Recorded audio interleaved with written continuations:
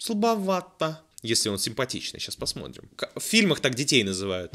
Бельгия из года в год представляет модные песни на Евровидении. Что будет в этот раз? Узнаем прямо сейчас. Поехали. Евровидение, Евромижен. Привет, ребята, это Рамузыка, главный музыкальный канал и главный канал по Евровидению, который, собственно, так получилось. Так получилось, и вы так сами сказали, я просто принял. А чё бы не принять такие приятные комплименты? Приветствую всех новых, кто подписался, людей. У нас есть плейлист Евровидение 2019, там все выступления и все видосы, связанные с Евровидением этого года. Также у нас будет трансляция, подпишитесь на канал, не забудьте. В прошлом году мы, по-моему, были в трендах, в трендах прямых эфиров, но кто же спрашивает, кто уточняет? Значит, что? Что, что? У нас сегодня Бельгия. Я люблю делать э, именно реакции на Евровидение, потому что этот формат как-никак подходит сюда. Я это всегда говорил. На Евровидении точно так же. Люди смотрят песню, людям нравится, люди голосуют, человек выигрывает. Поэтому если куда-то и подходит на моем канале формат Евровидения, то сюда в первую очередь. Поэтому на Евровидении я делаю реакции. Сегодня Бельгия, у нас Элиот. Песня Wake Up на английском, Бельгия, наконец-то. Official Music Video. Я не нашел живого выступления на эту песню. Судя по всему, Эллиот. Это мужское имя. Правда, я видел это имя обычно с двумя L или с двумя T. Понятия не имею. Э, в группу ВКонтакте можете зайти. Где-нибудь здесь ссылка будет. Вряд ли она будет здесь. Я ленивый. Внизу в описании будет ссылка на группу ВКонтакте. Там проводятся опросы периодически, какие страны посмотреть. И другие опросы, которые, собственно, влияют на видосы, которые я выставляю. Ну, как и ваши комменты под видео. Так что просите, давайте обсуждать, какие страны вас больше всего интересуют. Я так понимаю, вы мне всякую фигню не посоветуете. 42 э, страны, вы, наверное, советуете мне самые крутые варианты. Поэтому будем смотреть, высказываться и обсуждать. Давайте смотреть Бельгию, тянуть уже некуда. Хотя, давайте вспомним, что было с Бельгией. Там была какая-то баба, я помню, светящаяся, у нее было какое-то платье, которое подсвечивалось. Такая скромная девчонка, а, с таким плохим голосом, но у нее была очень модная песня. Я не помню, было это в прошлом году или в позапрошлом, но, в общем, я думаю, все и предрекали какое-то высокое место, ну, потому что песня была модная и классная. Но в итоге она высоко не поднялась, потому что, скорее всего, жюри ее зарубили за плохой вокал, потому что вокала там не было. Там было просто такое, знаете, я это называю, когда каверщики так на ютюбе делают, пародируют э, таких нежных британцев, типа Oh, um, eyes, you know, yes, just, oh, yeah, oh, oh no.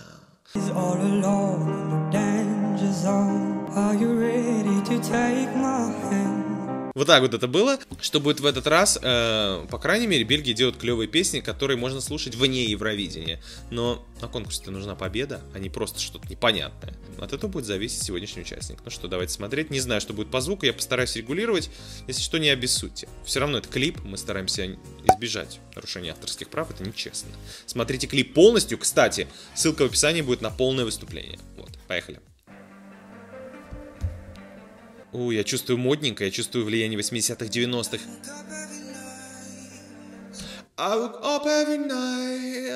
Такое, знаете, ленивое пение, но очень классное. Походу, это то же самое. Походу, в Бельгии, в Бельгии все так поют. Во-первых, я вижу, что мальчик, вот прям, э, прям мальчик. Элиот, это вот в фильмах так детей называют. Элиот. Вот это такой же мальчик. А это значит привлечение аудитории молодых девочек. Если он симпатичный. Сейчас посмотрим. Знакомый тембр.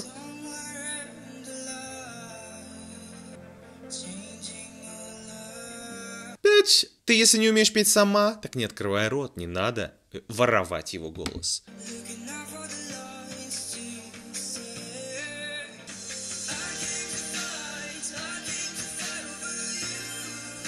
Mm, э, пока что... Я просто... Я немножко загрузился, потому что пытался... Ой, Батарейка села.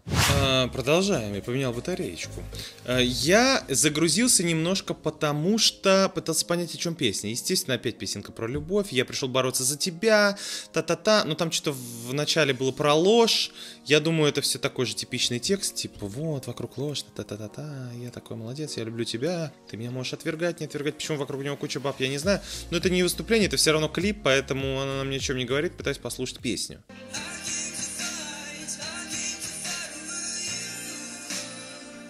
Немножко дрожащий голос, такой у него не сильно э, мощный голос, но он здесь вроде как и не нужен, но все равно мне показалось припев слабоват. Я думал, дроп будет посильнее. Все-таки э, такие ритмические басовые такие ба- э, удары, такие тун тун тун тун тун тун тун Я думал, будет что-то более грандиозное. э, со стороны его пения. Он так же слабенько поет, как и куплет. Ну, посмотрим, может, развитие будет какое-то.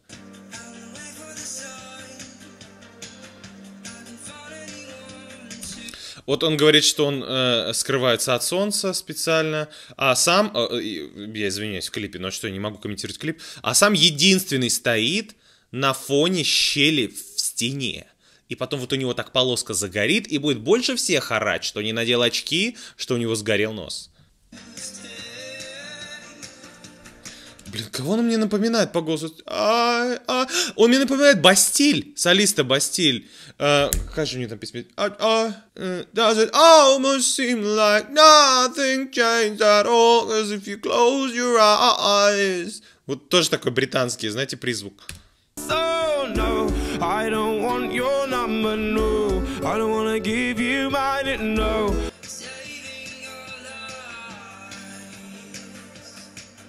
Очень сложно угодить будет жюри, потому что мы не знаем до конца, как жюри выбирают, э, собственно, своего победителя. Или они тупо оценивают вокал, значит, нужен супер вокалист, очень сложный вокал. Ну тогда песня может выйти нафталиновая, если песня будет чисто э, выдержана на вокале. Вот. И может это не очень понравится зрителям, например. Или это будет что-то типа оперы, понимаете, где сложно не оценить вокал, но в то же время она не слушабельная, например, будет. А вот такая модненькая песня может не понравиться жюри, якобы потому что м, слабовато. Все жюри, никто не знает, как э, мыслит жюри всех 45 стран, поэтому хрен бы знал. Но парень молодой, это плюс. Э, судя по всему, такой хорош собой, миленький, собственно, для... Мы не можем исключать, мы не можем не оценивать это. Миленький, значит, аудитория будет, скорее всего, довольна. Ну вот, окей.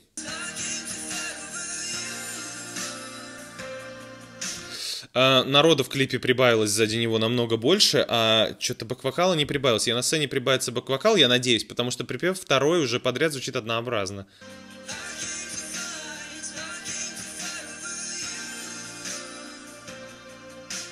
Видимо, он устал от, от лжи, он говорит, да он... Э, господи, блин, только что забыл, он только что сказал, сейчас.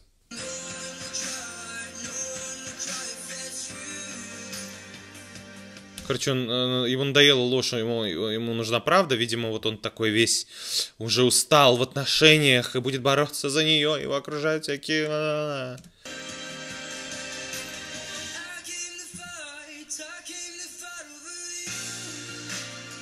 Господи, я уже думал, я уже думал, что за ленивый клип, он все время просто стоит в каком-то сарае э, с щелями между э, бревен. Оказывается, это какая-то самодельная коробочка была. И тут, значит, он поборолся со всеми препятствиями. Да-да-да, мне не нужны, мне не нужна твоя ложь, мне нужна правда.